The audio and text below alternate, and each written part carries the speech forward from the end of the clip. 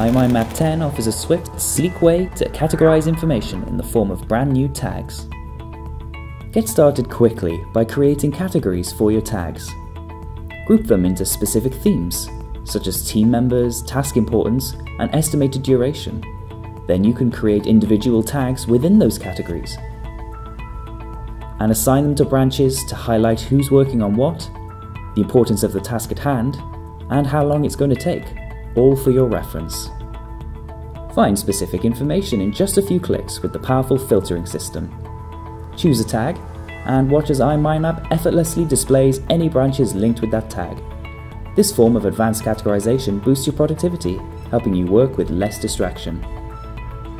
The versatile nature of tags means they can be used for an ample variety of purposes, from project management and curriculum planning to goal setting and event organizing. Tags are discrete, so they won't distract from your mind map. For a more visual way to categorize information, you can give iMindMap 10's new icon manager a try. Add a touch of personalization by importing your own icons to the library, or choose from the vast pre-built icons within iMindMap and add them to the branches. With just a glance, you can find the information you're looking for quickly. And what's more, tags on the icon manager are available in Fast Capture and Brainstorm View as well.